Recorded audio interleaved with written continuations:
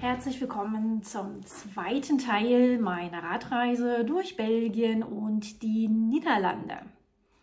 Heute nehme ich euch mit auf die Etappen 5 bis 8 und lasst euch überraschen, was es da alles zu sehen gibt. Es war wunderschön, ich war total begeistert. Viel Spaß beim Zuschauen.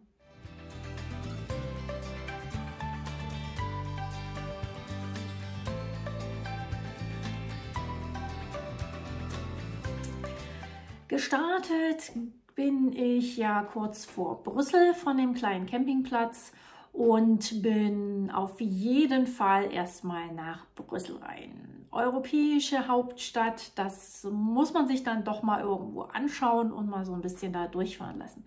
Es war mir tatsächlich auch ein bisschen zu groß, zu viel Verkehr, zu laut. Wenn man da so schon ein paar Tage durch das ländliche geradelt ist, mag man dann solche großen Städte nicht mehr so. Trotz allem war Brüssel sehr schön, hat eine sehr schöne Altstadt. Ich mag ja auch diese Architektur in diesem Flandern, also diese flämische Architektur und bin an diesem Tag bis Antwerpen geradelt. Direkt in Antwerpen gibt es einen Campingplatz. Der war tatsächlich richtig voll. Da war es jetzt nicht überfüllt, aber der war schon richtig gut gefüllt. Der liegt aber sehr, sehr praktisch. Man muss nur mit der Fähre über den Kanal oder es gab, glaube ich, auch ähm, einen Tunnel, wo man unterm Fluss langfahren konnte. Den habe ich aber irgendwie nicht gefunden. Also musste ich mit der Fähre hoch.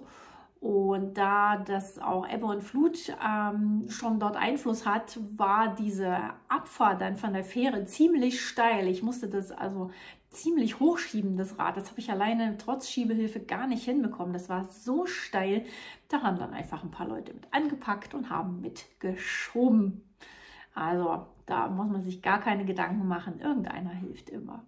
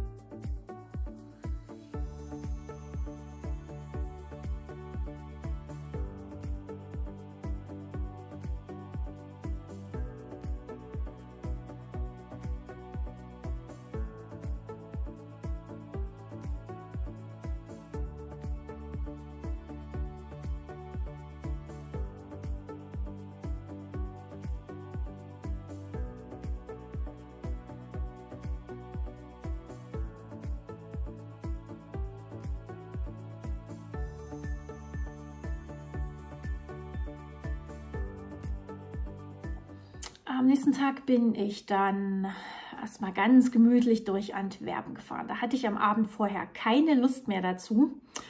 Mir war das doch einfach zu voll und da dachte ich mir, ach komm, das machst du frühst, da ist die Innenstadt noch schön leer, da kann man da ganz gemütlich durchschieben. Das ist generell immer eine ganz gute Idee, solche Großstädte entweder äh, am Wochenende, vormittags oder dann auch in der Woche früh zu machen, bevor die Geschäfte öffnen, bevor da der ganze Trubel losgeht. War auch sehr schön. Antwerpen ist wirklich eine tolle Stadt. Hat mir sehr gut gefallen. Ich muss nebenbei so ein bisschen jetzt auch äh, auf meinen PC gucken, weil dann doch einiges passiert ist und es einiges zu sehen gab auf den, äh, ja, auf den Kilometern der nächsten Tage. Das kriege ich jetzt aus dem Kopf nicht immer alles so hin. So, es ging also von Antwerpen wieder raus aufs Land. Äh, da gibt es in Belgien so Erdbeerautomaten. Also wie man bei uns so diese Milchautomaten kennt, gibt es dort Automaten für alles Mögliche. Und da gab es zum Beispiel einen Erdbeerautomat. Und die habe ich mir natürlich dann ein Schälchen Erdbeeren gegönnt. Das war sehr lecker. Dann gab es irgendwo Kunst am Weg.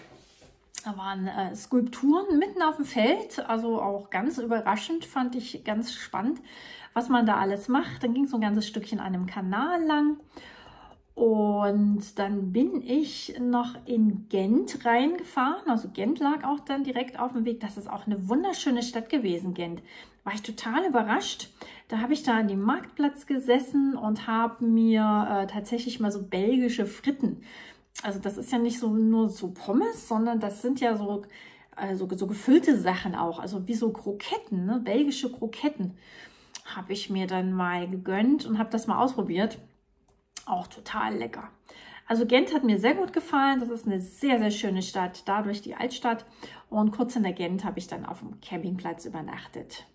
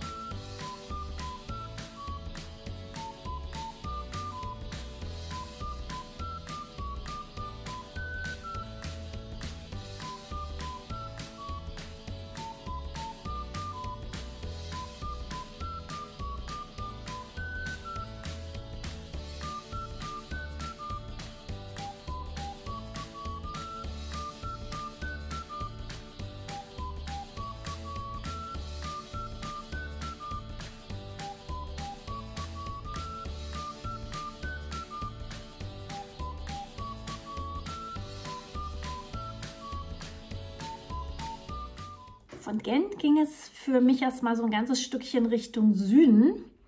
Äh, ich weiß nicht mehr genau, warum ich Richtung Süden abgebogen bin, aber irgendwas muss da gewesen sein, was ich mir anschauen wollte. Da Belgien und Niederlande ja generell viele Kanäle haben, haben die natürlich auch immer eine ganze Menge Brücken und das ist ganz spannend, was sie dann für Konstruktionen haben, um diese Brücken zu öffnen für den Schiffsverkehr. Und da war eine Brücke, das war so eine, so eine Hochbrücke, die wurde einfach nach oben geschoben und damit die Schiffe da unten drunter durchfahren konnten. Also auch das ganz spannend zu beobachten, wie das äh, in Belgien so funktioniert. Äh, Tournai war dann die Station des Tages. Das ist dann die walisische Ecke von Belgien und dort wird Französisch gesprochen. Also da kam ich dann auch auf dem Campingplatz nicht weiter, den ich da anvisiert hatte. Die haben kein Englisch gesprochen, die Leute. Ähm, ich bin dann in die Touristinformation und die hat dann für mich diesen Campingplatz klar gemacht und hat mit den Leuten dann gesprochen. Aber vor Ort konnte ich da selber auch nicht wirklich was klären, weil die nicht wirklich äh, ja, es war keine Verständigung möglich, aber es hat alles funktioniert. Ich konnte mein Fahrrad laden und das war so ein ganz kleiner Campingplatz, so am Rande der Stadt. Also ganz entspannt, alles. Irgendwie funktioniert es immer.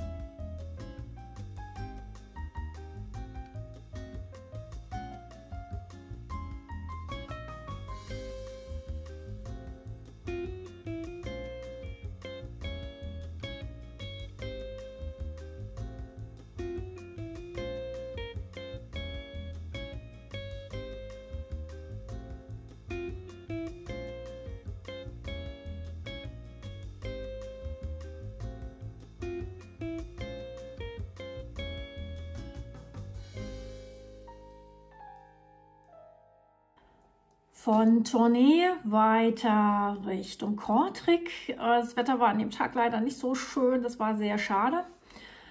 Da bin ich direkt in ein so ein Stadttriathlon gekommen. Also da war alles abgesperrt, aber ich dachte mir, okay, das guckst du dir jetzt mal an. Habe mich da in ein Straßencafé gesetzt, direkt an der Rennstrecke und habe so ein bisschen die Leute an mir vorbeilaufen lassen. Das war gerade der Laufteil, der da stattfand. Ja, weiter ging es dann für mich Richtung Norden. In Kortrijk wollte ich mir eine Brücke anschauen. Jetzt weiß ich nämlich auch wieder, warum ich diesen Weg gewählt habe. Da gab es so eine ganz äh, besondere Hängebrücke, die in so einer S-Form gemacht wurde, nur für Radfahrer. Die war zum Glück frei, die konnte ich also äh, mir anschauen. Ganz spannende Konstruktion und dann ging es weiter Richtung Norden, Richtung Nordsee. Irgendwann war ich auch tatsächlich an der Nordsee angekommen und äh, dann die nächsten Tage geht es dann erstmal ein Stückchen am Wasser lang.